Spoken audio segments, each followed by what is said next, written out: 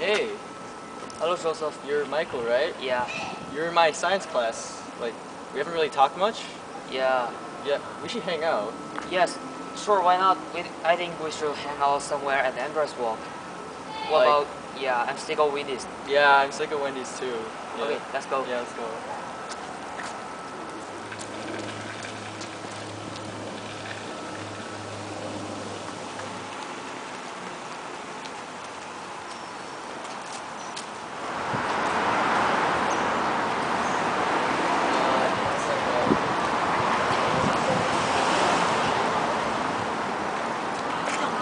There are so on the. It smells horrible.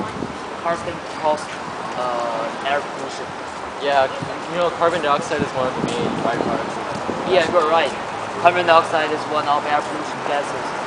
But I think carbon dioxide can also cause uh, climate change. Really? How so? I will tell you later. Uh, it's possible.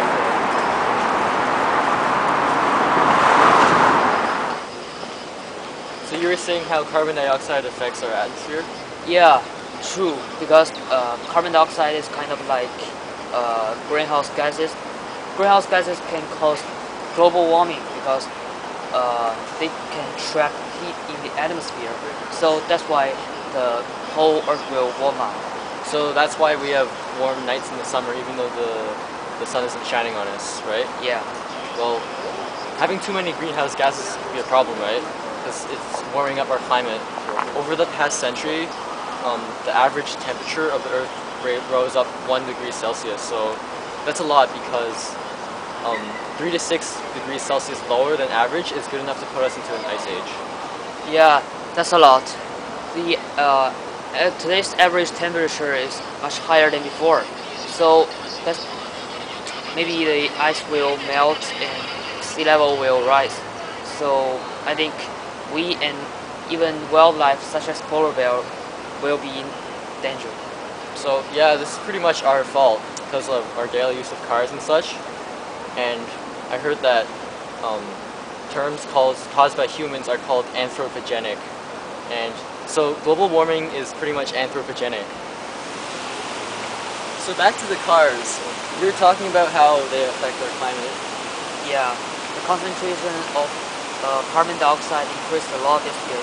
Like the average number of carbon dioxide is uh, three 315 parts per million in 1960, but it increased a lot. In ni- uh, 2000, it turned into uh, like 370.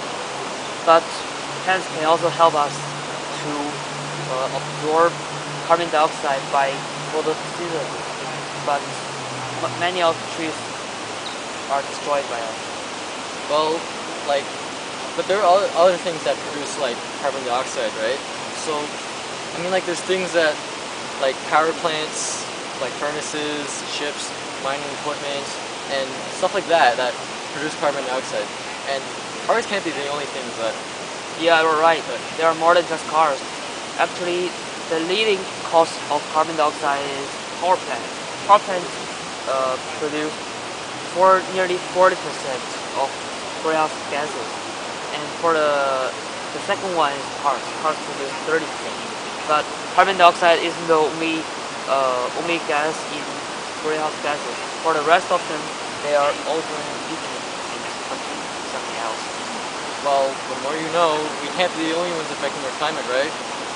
Yeah, at least not in that way. The atmosphere also affects us, uh, also affects climate change. Actually, atmosphere is very important for us. For example, if there's no atmosphere, the sunlight will shine on our skin directly and that will lead to skin cancer. Well, that's cool because like the atmosphere protects us from the sun's deadly rays, but it still traps in heat. Yeah, Yeah, that's cool. cool.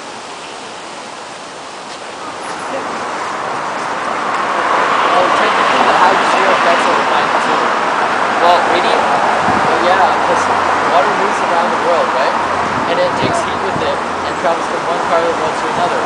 And And it also acts as a heat reservoir. Like places that are close to water have a much more moderate climate. Places such as Vancouver or London, England, have a much more moderate climate than us because they're close to water. And places that have really little water, such as deserts, have very severe climates because they have very little water in the ground. Um, it's pretty cool. I can't believe the science affects us in daily life. It's almost like science is everywhere. Yeah, I can't believe these cars actually got us into this conversation about climate change. Yeah. Well, I think we have better get going or we'll Yeah. have time